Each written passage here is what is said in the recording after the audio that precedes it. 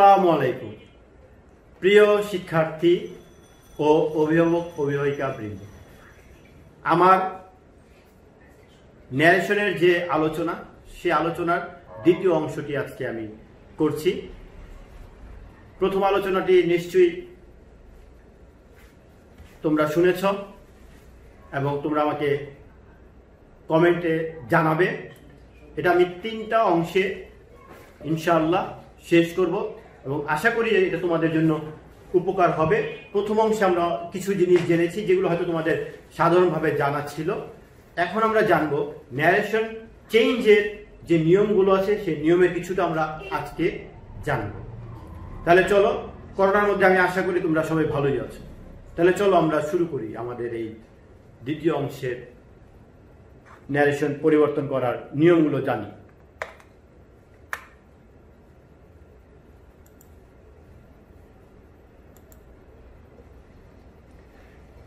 Narration আমি এর আগের লেকচারে বলেছি, মুখে বললে একেবারে সহজ। কিন্তু বাস্তবে এটা প্রয়োগ করাটা যথেষ্টই কঠিন।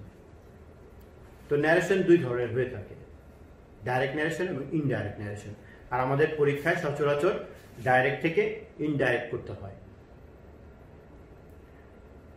আর আমাদের বর্তমান সময়ে যে পরীক্ষা পদ্ধতি, সেই পদ্ধতিতে ন্যারেশনটা প্যাসেজ আকারেই চলে আসে। তো কিন্তু প্যাসেজ আকারে করার আগে আমাদেরকে কিন্তু ডিটাচ ন্যারেশনের নিয়মগুলো খুব ভালোভাবে জানতে হবে। আর ডিটাচ ন্যারেশনের নিয়মগুলো জানলে প্যাসেজ ন্যারেশন কোনো ব্যাপারই না, একদম সহজ। আর ডিটাচ ন্যারেশন না জানলে প্যাসেজ ন্যারেশন কখনোই করা যাবে না। তখন সবসময় মাথাটা ভার থাকবে, কঠিন মনে হবে, বিরক্তিকর মনে হবে এবং কোনোভাবে তুমি বুঝতেও পারবে না। তাহলে চলো আমরা আজকে চলে যাই ন্যারেশনের সাধারণ যে নিয়মগুলো আছে, সেই নিয়মগুলো জানার জন্য। তোমরা স্ক্রিনে দেখতে পাচ্ছ, কাগজ কলম রেডি রাখবে। যদি কোনো প্রশ্ন জাগে, তুমি প্রশ্নগুলো নোট করবে, আমাকে কমেন্ট করবে, আমি সেই কমেন্টে তোমার উত্তরগুলো দিয়ে দিব, এতে করে তুমি উপকৃত হবে। তো আমাদের এই অনলাইন কার্যক্রমের একটা বড় দিকই হচ্ছে যে, তুমি বাসায় বসে যাতে নিরাপদে এই করোনাকালীন সময়ে শিক্ষার কার্যক্রমটাকে এগিয়ে নিয়ে যেতে পারো। আর সেই ক্ষেত্রে তোমাকে অনেক বেশি মনোযোগী হতে হবে। তুমি মনোযোগী হলে সহজ। তাহলে চলো আমরা এগিয়ে যাই আমাদের এই শিক্ষা কার্যক্রম নিয়ে। তা আমাদের ন্যারেশনের ক্ষেত্রে পাঁচটা সেন্টেন্স সম্পর্কে আমাদের একটা ধারণা থাকতে হবে। প্রথমে আমরা অ্যাসার্টিভ সেন্টেন্সের ন্যারেশনটা আমরা কীভাবে চেঞ্জ করব সেটা জানব। অ্যাসার্টিভ সেন্টেন্স চিনো তো তোমরা? প্রিয় ছাত্রছাত্রীরা অ্যাসার্টিভ সেন্টেন্সটা চেনাটা সহজ। আমরা কিন্তু সহজে বলতে পারি কি? যে অ্যাসার্টিভ সেন্টেন্স মানে হচ্ছে বর্ণনামূলক বাক্য। কিন্তু কোনটা বর্ণনামূলক বাক্য? এটা কিন্তু আমরা চিনতে পারি না। আমরা খুব সহজে বলতে পারি এটা বিবৃতিমূলক বাক্য, বর্ণনামূলক বাক্য। কিন্তু কি? ঠিক বলছি কি না আমরা কিন্তু চিনতে পারি না যে কোনটা অ্যাসার্টিভ সেন্টেন্স চেনার একটা সহজ উপায় হচ্ছে অ্যাসার্টিভ সেন্টেন্সে সাবজেক্টের পরে ভার্ব থাকবে। অ্যাসার্টিভ সেন্টেন্সে সাবজেক্ট পরে ভার্ব থাকবে। কি থাকবে? সাবজেক্টের পরে ভার্ব থাকবে। সাবজেক্টের পরে ভার্ব যদি থাকে, তাহলে আমরা ধরে নিব যে এটা হচ্ছে অ্যাসার্টিভ সেন্টেন্স আর এই অ্যাসার্টিভ সেন্টেন্সের আমরা যদি ন্যারেশনটা চেঞ্জ করতে চাই, তাহলে আমরা কি করতে হবে? এখানে একটা এক্সাম্পল আগে দেখো। উদাহরণটা দেখো। উদাহরণটা হচ্ছে কি? Direct ন্যারেশনের he says I am going to Dhaka I am going to Dhaka এখন এখানে কোশ্চেন দুইটা আছে। রিপোর্টিং স্পিচ কোনটা বলো তো তোমরা? গতদিন আমরা, গত লেকচারে কিন্তু আমরা এটা শুনেছি। রিপোর্টিং স্পিচ কোনটা? রিপোর্টিং স্পিচ হচ্ছে ইনভার্টেড কমার বাইরের অংশটা এটা হচ্ছে রিপোর্টিং স্পিচ আর রিপোর্টিং স্পিচ কোনটা? গুড তোমরা বলতে পারছ। এটা হচ্ছে এইটা। I am going to Dhaka বুঝা যাচ্ছে তোমরা বাসায় এটা করেছ। তাহলে he says I am going to Dhaka এই যে I am going to Dhaka এইটাকে এখন আমি ইনডাইরেক্ট করব। কিন্তু আমরা গত লেকচারে কিন্তু শুনেছিলাম যে রিপোর্টিং স্পিচটা যদি পাস্ট টেন্সে থাকে, তাহলে আমরা কিছু পরিবর্তন করব। কিন্তু এখানে রিপোর্টিং স্পিচ স্পিচের যে ভার্বটা আছে, দেখো রিপোর্টিং স্পিচটা প্রেজেন্টে আছে এবং রিপোর্টিং ভার্বটা প্রেজেন্টে আছে। তাই না? গতকালকে ছিল কিসে বলতো? সেইট পাস্টে ছিল কিন্তু এটা প্রেজেন্টে আর যদি এটা প্রেজেন্টে থাকে, তাহলে আমরা এটা কোনো পরিবর্তন করব না। শুধুমাত্র পার্সনের পরিবর্তন করব। রিপোর্টেড স্পিচের কোনো পরিবর্তন হবে না, শুধুমাত্র পার্সনের পরিবর্তন হবে। মনে থাকবে তো? না ভুলে যাবে? রিপোর্টিং স্পিচটা প্রেজেন্টে হলে রিপোর্টেড স্পিচের কোনো পরিবর্তন হবে না, শুধুমাত্র পার্সনের পরিবর্তন হবে। কীভাবে পার্সনের পরিবর্তন হবে সেটা আমরা জানব। এখানে আমরা যেটা জানব সেটা হচ্ছে যে রিপোর্টিং স্পিচটা যদি সে থাকে অথবা সেইস থাকে অথবা সেইট টু থাকে যেমন এখানে আছে সেইট টু সেইট টু থাকে, তাহলে আমরা সেইস থাকলে আমরা সেইস রেখে দিতে পারি সেইস না রেখে আমরা চাইলে আমরা ব্যবহার করতে পারি টেল সেইস আমি রাখব না সেইস না রেখে আমি ব্যবহার করতে পারি টেল দেখো, এখানে সেইস আছে। সেইসটার পরিবর্তে আমি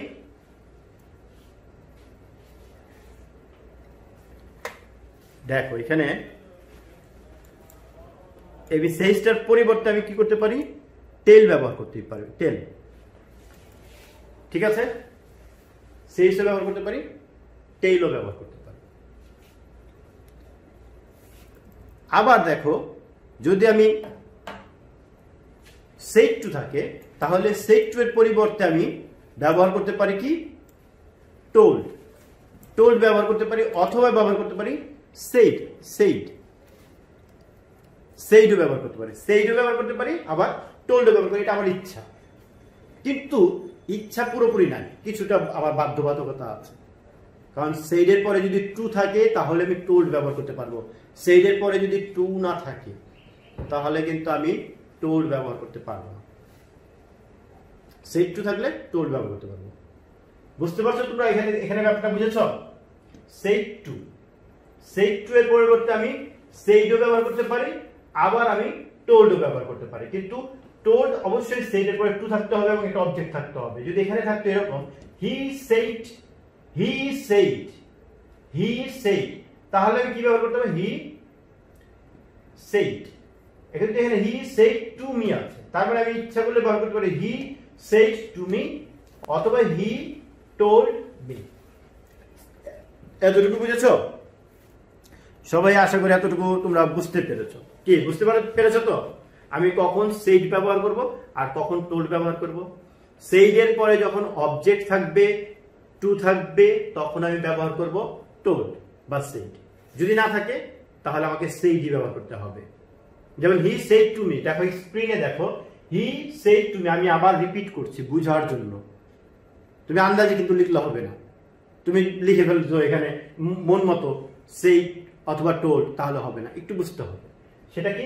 হি সেড টু মি এখানে টু আছে। তার মানে আমি ব্যবহার করতে পারব টোল্ড ব্যবহার করতে পারব। সেডের পরে টু আছে। যদি সেডের পরে টু না থাকতো, তাহলে আমি ব্যবহার করতে পারতাম, ব্যবহার করব কি? শুধুমাত্র সেট বুঝেছ ক্লিয়ার হয়েছে ব্যাপারটা? আচ্ছা। তাহলে আমরা অ্যাসার্টিভ সেন্টেন্সে কি জানলাম? আমরা অ্যাসার্টিভ সেন্টেন্সে জানলাম রিপোর্টিং যে ভার্বটি আছে, সেটা যদি সে থাকে, তাহলে আমি কেন ব্যবহার করব। বা এই যদি সেট টু থাকে, তাহলে আমি ব্যবহার করব টোল্ড ক্লিয়ার সবাই? তাহলে পুরো এক্সাম্পলটা কি দাঁড়াল? He says I am going to Dhaka he says that এই যে কমা এবং ইনভার্টেড কমার পরিবর্তে দ্যাট ব্যবহার করব। কোন সেন্টেন্সের ক্ষেত্রে? অ্যাসার্টিভ সেন্টেন্সের ক্ষেত্রে। অন্য কোনো সেন্টেন্স না কিন্তু। অ্যাসার্টিভ সেন্টেন্সের ক্ষেত্রে সবাই বলে ফেলি আমরা কমা ইনভার্টেড কমার জায়গায় আমরা দ্যাট ব্যবহার করব। আসলে কি না? এটা না। অ্যাসার্টিভ সেন্টেন্সে আমরা সেই কমা ইনভার্টেড কমার পরিবর্তে ব্যবহার করব হচ্ছে দ্যাট সবাই ঠিক আছে? বুঝেছ সবাই দেখো এখানে সেইস এর পর কিন্তু টু নাই, এই জন্য কিন্তু এখানে টোল্ড বসে। কিছুটা বুঝতে পেরেছ? আশা করি বুঝতে পেরেছ। আমরা অ্যাসার্টিভ সেন্টেন্স থেকে চলে যাচ্ছি এবার তারপর বলো তো, তোমরা কোন সেন্টেন্স আছে এরপরে? হ্যাঁ গুড ইন্টারোগেটিভ সেন্টেন্স তোমরা আমার সাথে ভালো যাবে ইন্টারোগেটিভ সেন্টেন্স অ্যাসার্টিভ সেন্টেন্সের পরে আমরা এখন ইন্টারোগেটিভ সেন্টেন্স সম্পর্কে জানব। এখন ইন্টারোগেটিভ সেন্টেন্স ইন্টারোগেটিভ সেন্টেন্সে আমরা said to reporting verb said to থাকলে আমরা তার পরিবর্তে ব্যবহার করব হচ্ছে আস্ট আস্ট ব্যবহার করব। যদি সেট টু থাকে, তাহলে আস্ক প্রেজেন্ট থাকলে present ask said to past asked clear সবাই? আশা করি ক্লিয়ার তাহলে he said to me are you ill are you ill he asked me সে আমাকে জিজ্ঞেস করল। আগে দেখো সেড টু বলল আর আস্ক জিজ্ঞেস করল। He asked me if I was ill ইফটা কোথায় কোথেকে আসলো? ওই যে একটু আগে বললাম অ্যাসার্টিভ সেন্টেন্স আমি দ্যাট ব্যবহার করব, তাই না? অ্যাসার্টিভ সেন্টেন্সে দ্যাট ব্যবহার করব, কিন্তু আমি এই ইন্টারোগেটিভ সেন্টেন্সে ব্যবহার করব হচ্ছে ইফ ইফ ছাড়া ডাব্লিউএইচ ওয়ার্ডও ব্যবহার করা যায়। কখন করব আমরা সেটা আমরা জানব। এখন আমরা এতটুকু জানলাম, ঠিক আছে? তারপরে চলে যায় কোন সেন্টেন্সের পরে বলো তো? বলতে পারবে? কোন সেন্টেন্স হ্যাঁ রাইট তোমরা খুব ভালো বোঝা যাচ্ছে যে বাসায় তোমরা কিছু পড়াশোনা করেছ। ইম্পারেটিভ সেন্টেন্স গুড ইম্পারেটিভ সেন্টেন্সটা কি? ইম্পারেটিভ সেন্টেন্স দেখো ইম্পারেটিভ সেন্টেন্স আমাকে চিনতে হবে। ইম্পারেটিভ সেন্টেন্স কিন্তু অনেক রকমের। যেমন ইন্টারোগেটিভ সেন্টেন্স বাক্য শেষে প্রশ্নবোধক চিহ্ন থাকলে বোঝা যায় এটা ইন্টারোগেটিভ সেন্টেন্স এই জন্য আমি এটা আর বিস্তারিত বললাম না। তোমরা ভালো চিনো।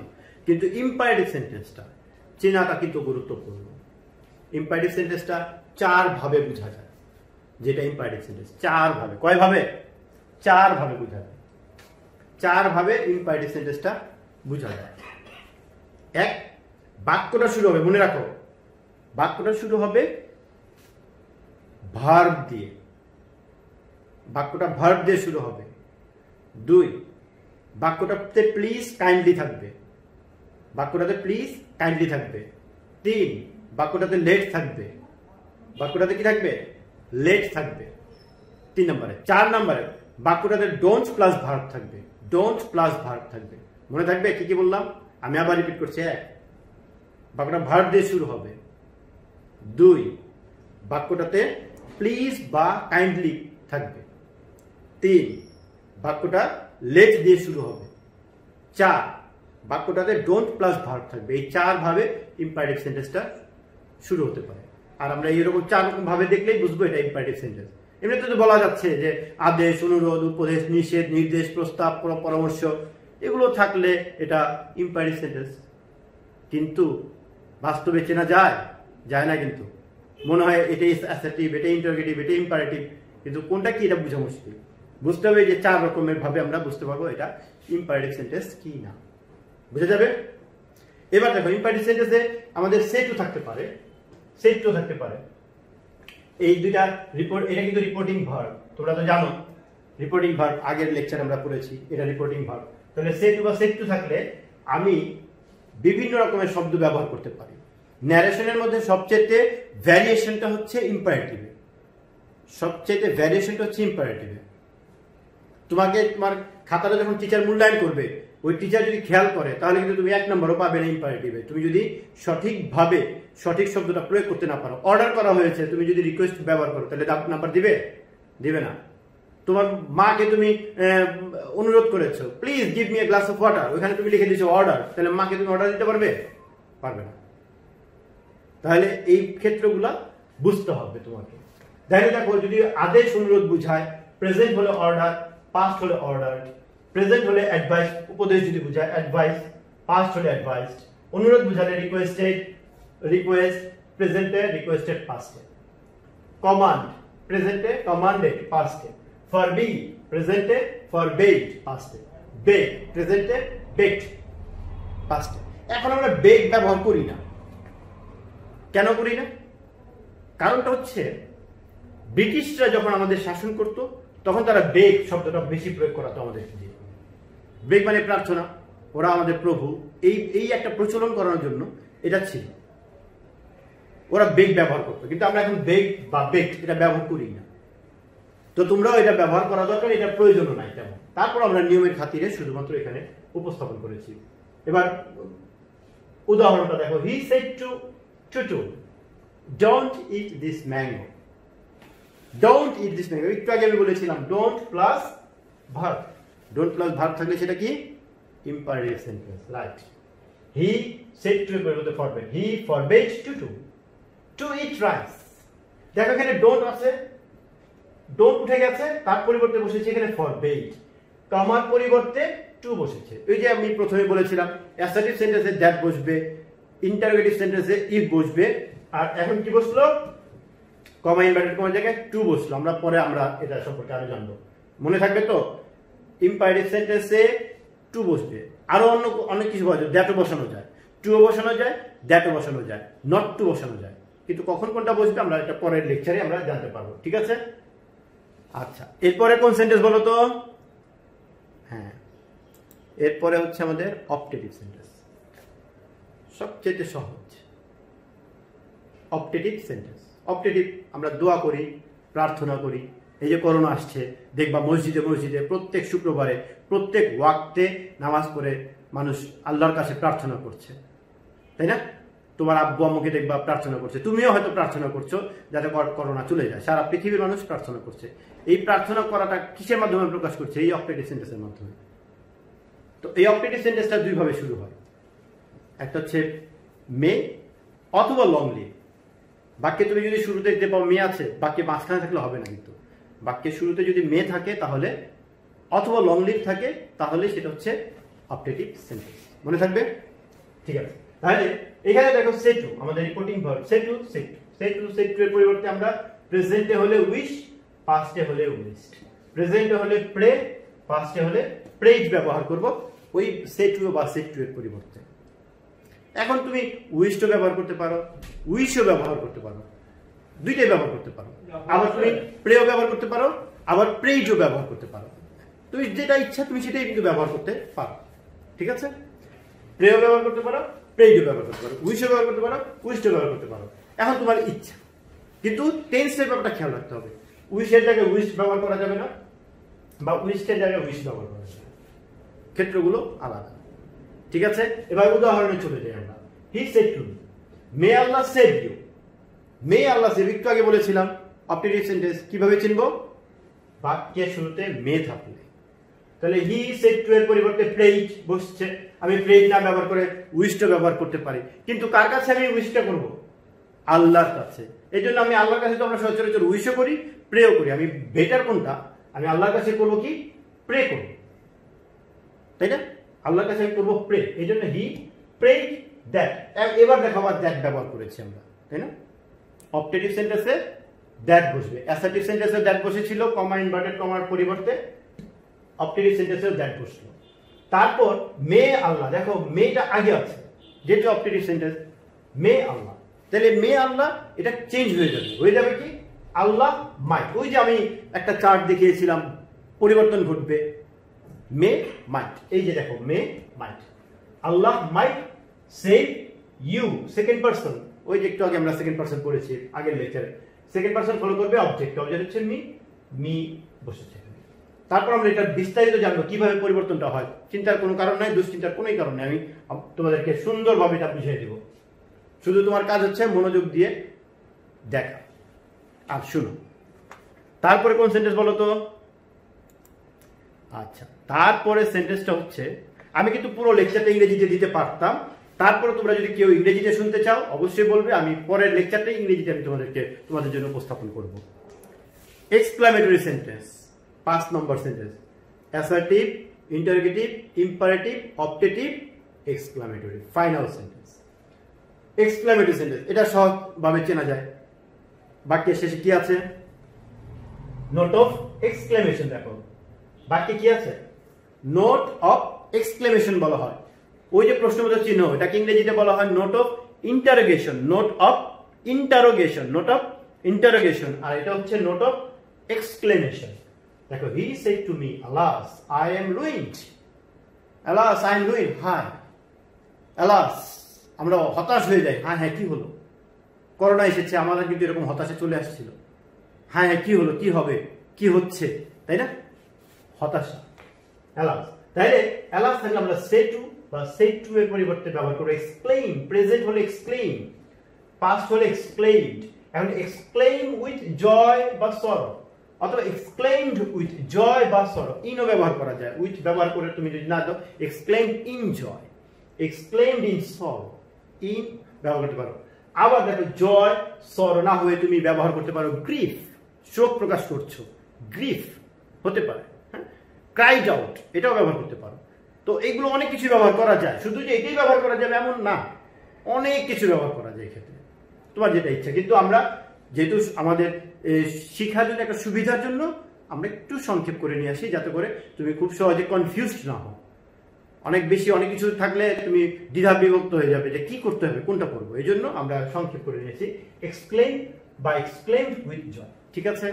এখন দেখো he said to me alas I am ruined he explain যেটা পাস্ট টেন্স আছে, এই জন্য এক্সপ্লেন এক্সপ্লেন উইথ জয় বা উইথ সর এখানে যদি আলাস বলছে, আলাস কি আনন্দ না দুঃখ? বলো তো। আলাস কিন্তু দুঃখ প্রকাশ করছে, তাই না? তোমার বাসায় চুরি হয়ে গেছে। হ্যাঁ হ্যাঁ আমার বাসায় বাসায় চুরি হয়ে গেল। তাহলে কি তুমি দুঃখ প্রকাশ করছ না আনন্দ? তোমাকে বুঝতে হবে। তুমি যদি এখানে জয় দিয়ে দাও টিচার নাম্বার দিবে?